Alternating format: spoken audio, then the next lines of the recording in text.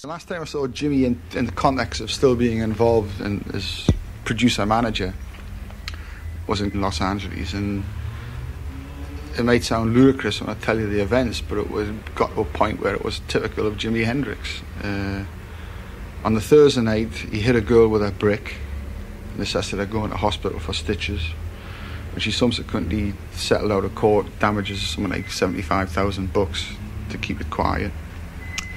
He bought I think it was 17 televisions for a house that had a television already in every room, eight stereo sets.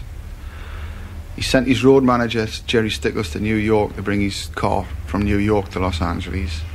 He only had it in Los Angeles an hour when he'd wrapped it up. Walked straight away from the crash into a shop and bought a new one, which he wrapped up the following day and bought yet another one. Three Stingrays in one weekend.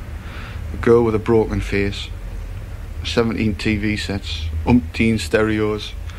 I think he bought nine guitars that weekend as well.